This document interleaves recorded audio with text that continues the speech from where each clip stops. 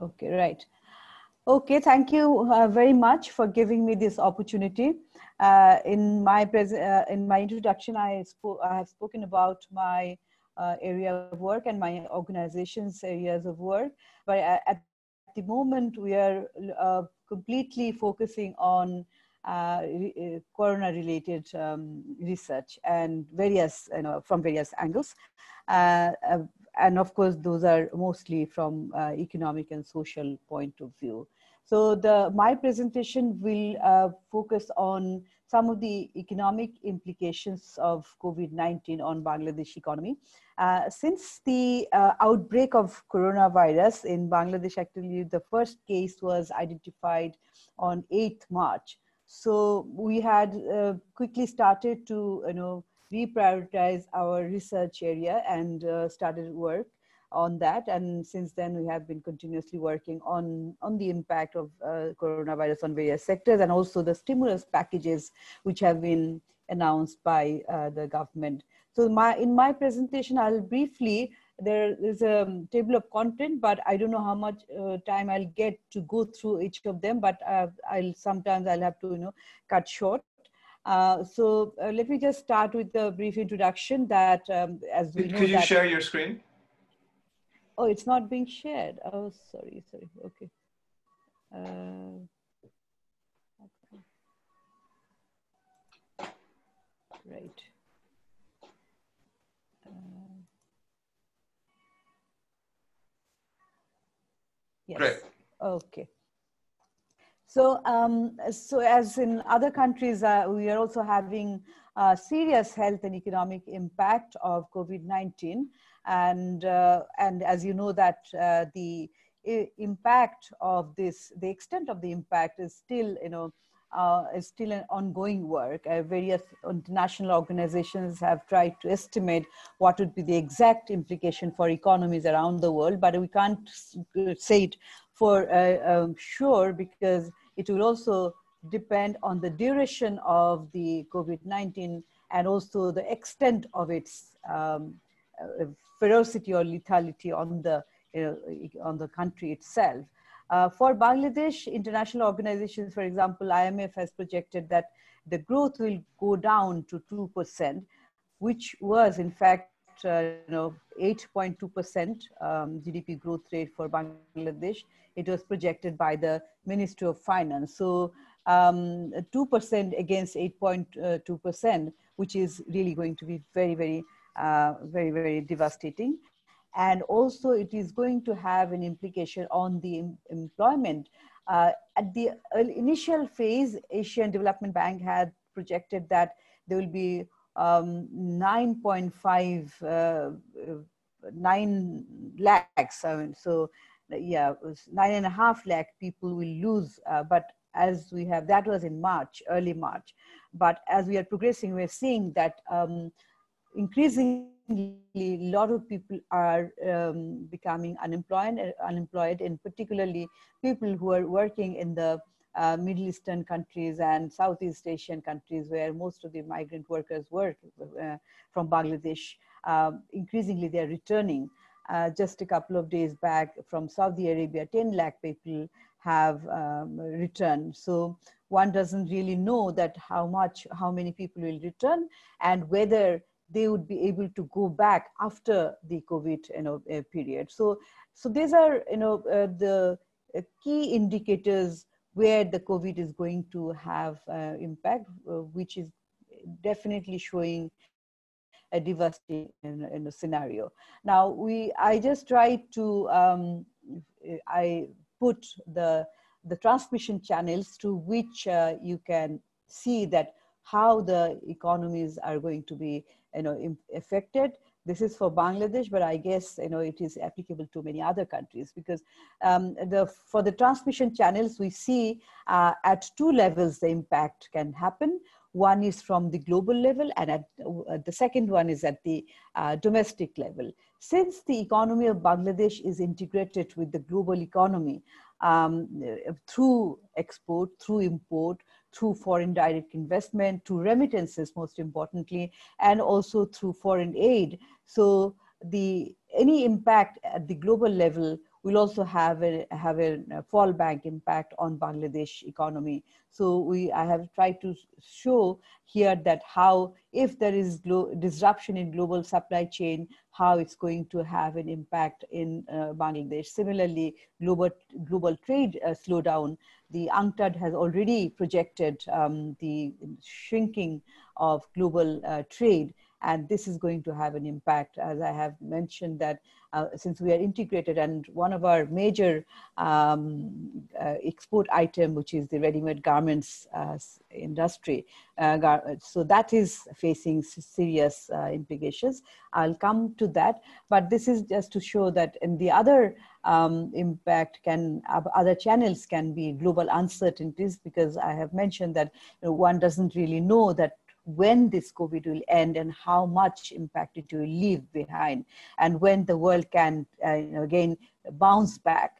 Uh, the other uh, fourth uh, channel is that as a whole global economic slowdown. So uh, this chart again shows the channels at the global level. Now I'll come to the domestic level. Amita, so, sorry yes. if I could interrupt.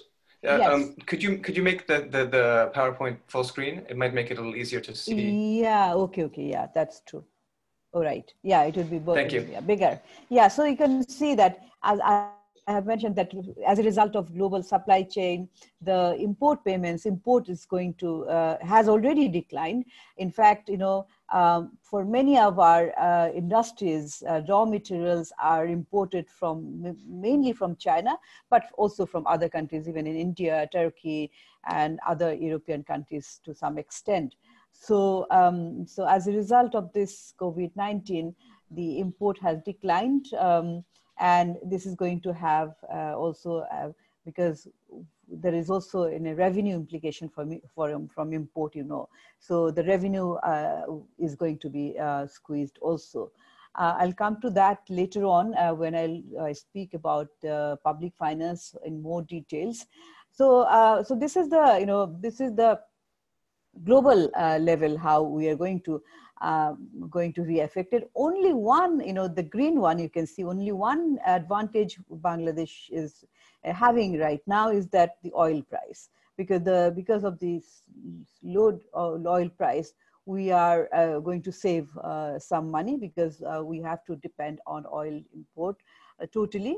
So that's the, that is the only um, you know space where we can see some uh, revenue you know space here for the domestic uncertainties we see there is uncertainty in terms of you know investment because um, since, two, uh, since 26th of March, the country is under uh, lockdown, though it is called, it is uh, officially it is called uh, holiday, general uh, public holiday, but it's actually uh, lockdown. And as a result, the economy is under shutdown. So um, nothing is, uh, no economic activities can take place, investment is uncertain, public expenditure uh, is under pressure. Why? Because you know, the government has announced um, huge um, stimulus packages, which is equivalent to 3.3% of the GDP for various sectors, for large industries, for export in oriented sectors, for the small and medium uh, enterprises, for, for agriculture sector, and also some relief packages for the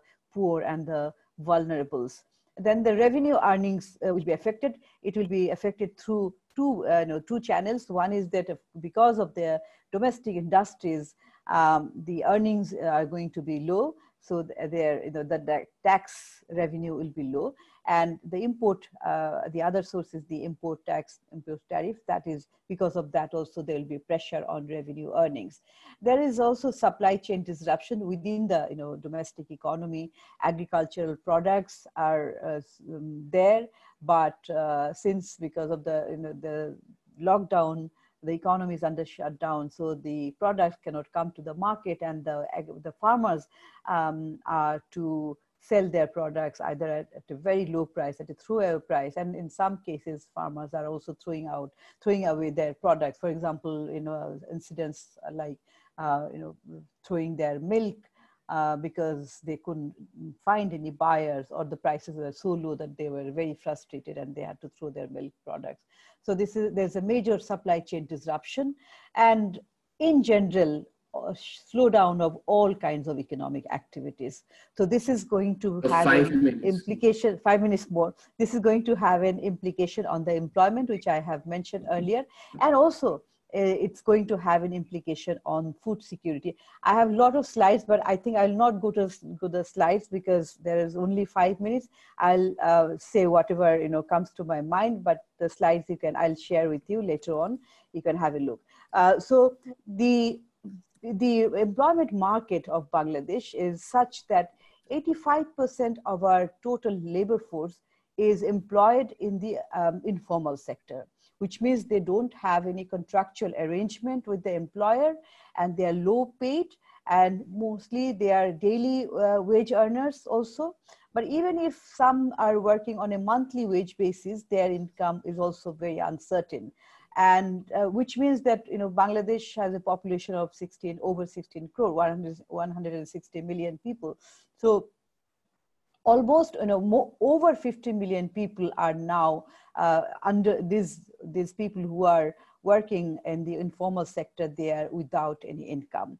And um, and it has been estimated i mean these are just guesstimate not yet scientifically estimated that our poverty level is 20.5 percent but it has it might have just doubled during this period during the you know last two months or so so which means the government has even more pressure um, uh, at various levels since middle of uh, March. The government has announced uh, stimulus packages, as I have mentioned, which is equivalent to 3.3% of GDP for various sectors. But most of the stimulus packages uh, is in the form of liquidity creation. So over 80% of the stimulus package will be in the form of loans to the businesses, loans to the business, including uh, large and small and medium enterprises, and also loans to the um, farmers. Uh, the rest, you know, among the rest is some expansion of the social safety net programs and also some allocation for the health sector. Uh, but that's not enough for particularly for the social safety net program there is a huge demand uh, eh, for those people you know for feeding those people for the for at least two to three months and from our uh, center we had estimated that um, if we have to uh, if, we have to keep these people afloat um, so there might be a requirement of 30,000 crore taka. I mean, I'll have to convert in, in dollar, which is, uh, which is way above the allocation by the government. Government has allocated only 7,000 crore. Vis-a-vis, we are talking that we need 30,000 crore taka for these people uh, to survive, you know. So, and uh, also as part of these uh, stimulus package, our recommendation is that it is always good to have direct transfer, direct cash transfer to the you know poor people so that they can also purchase uh, non-food items and also there is a less uh, possibility of wastage and you know corruption because it if it goes through uh, mobile financial transaction or electronic transfer it, there's a less possibility of corruption. But in case of food one doesn't really know in 5 kg packet whether there are 4 kgs or 3 kgs. So that's one thing.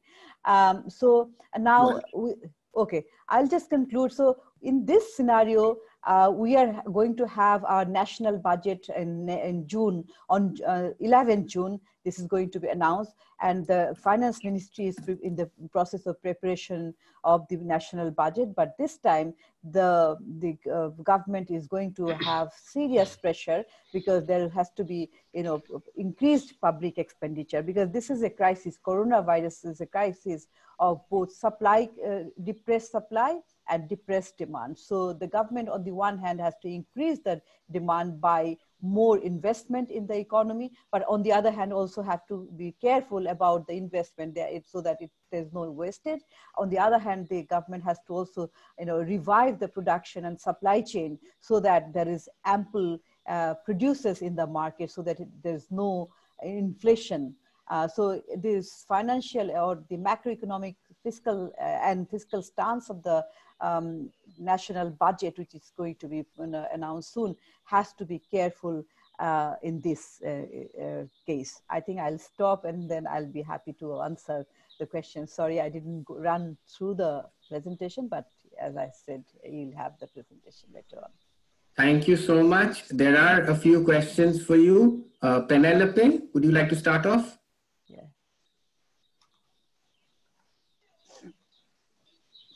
Uh, hello, can you hear me? Yes, yes. Yes, uh, hello. Uh, yes, uh, I uh, posed two questions, if may I, following your very interesting uh, presentation. You were uh, referring to packages being offered to businesses. And I'm curious to know how they have been offered, the format. Uh, later on, you talk about the loans. Are they different um, loans conditional on specific uh, terms, or are they prioritizing some sectors according to, um, well, the structure of your economy that we know is heavily dependent on the garment industry. Yes. That's my first question. And if may I, later on you mention um, that they are going ahead with can cash. Can you hold off on the second question oh. because there are more? So sure, sure, sure. So shall I respond now or you collect some questions together? Yeah, you can collect the questions and so so then Rinchen, next one. Hi. Um, so I had a question regarding um, the extent to which the you know sharp reduction in global demand for garments um, has impacted the Bangladeshi GDP, and whether the eight percent to two percent uh, drop in growth that you just mentioned, to what extent is that being driven by the sharp reduction in, in, in the demand for garments? I ask this question because there's this argument being floated, um, uh, uh, which suggests that a lot of uh, some of these developing countries might be, in a way, insulated from uh, from from drops in, in, in demand for exports because they really rely on the domestic economy more than on on like you know the external economy or the global economy that is because they have such you know exports are not a big part of their their kind of um, the demand um, um, and that's why they're they're more inward focused. So just to kind of get an idea, I wanted to ask that question. Zaki. Um, so Famidaba, so thank you very much. That was um, very interesting, very uh, enlightening to hear. Um, so the question I had was about the government relief packages. Um, and I was wondering if you could tell us something about how these are being targeted, um, whether, um, you know, um, what is sort of criteria that, that the government is, is, is using. Um, and the context of my question is this um, article I was reading by Banerjee and Duflo uh, in The Guardian yesterday, where they were saying that there should be um, basic income being provided in, in uh, developing countries um, to simplify the, uh, the, the, process of providing relief. Uh, and so do you think whether that that's, that's something realistic in the case of Bangladesh and um, what would be the, um, the kind of mechanism, whether it's you know, mobile money transfer or transfer in kind that would be appropriate? Thank you. Okay, so uh, you, you have uh, a minute and a half to respond to these questions. Oh, okay, okay, okay. Very quickly, uh, the prioritization of the packages. Yes, um, the package in fact started with the export sector. Actually, support to the export sector, export-oriented sectors. The government had given five thousand, um, allocated five thousand crore taka, uh, which is interest free so the export-oriented sectors can take loans from the from the banks without any interest. They have to only pay service charge of two percent. So that was the first, you know, prior. So first announcement, which shows that the priority was was the export oriented and the rmg sector is very very important for bangladesh because 84% of our foreign exchange income comes from the ready-made garment sector. And 4.1 million people are employed in the sector. So that is why it is always, of course, we always debate uh, within the country that this is an industry which is 40 years old, but still, uh, you know, uh, benefiting or enjoying so many supports from the government incentives and now also but but uh, government has also allocated uh, support for the small, medium, and uh, micro, small, and medium enterprises. And uh, the, as I have mentioned, these are all in loan form. So the, it, these will be channeled through the banks. What the government has done that for the La, uh, for both the large industries and the small industries, uh, government will give uh, interest rate subsidy. For example, for the law, large industries, the loan interest rate is 9%. So the government will pay 4.5% and the, and the borrower will pay 4.5%. For the small industries, uh, nine out of 9%, the government will pay 5%. So that's how it is being, um, it has been designed so far. But as we, having said that, as I have mentioned that there's a lot of criticism also that these people who are really poor and who are just who are just above the poverty level uh, threshold level they have fallen down. Poverty much more uh, support is uh, needed. And that brings me to the third question uh, third you know, question of zaki is that the issue of universal uh, basic income and the targeted things. Yes government is in the of the opinion that we have a very large social safety net program, but it, a huge amount of you know uh, money is spent for that. But that is very very minimal. Uh, only 500 taka is given to you know a monthly allowance, which is very small. Uh, so we are asking to increase this amount, and now the government has um, uh, announced that it will uh, pay around 1500 taka but we don't you know it's not for sure but they will pay uh, some amount of taka. But that should be again as I, i've mentioned i have also mentioned earlier that should be through mobile financial uh, um, uh channels uh, through electronic you know, transfer.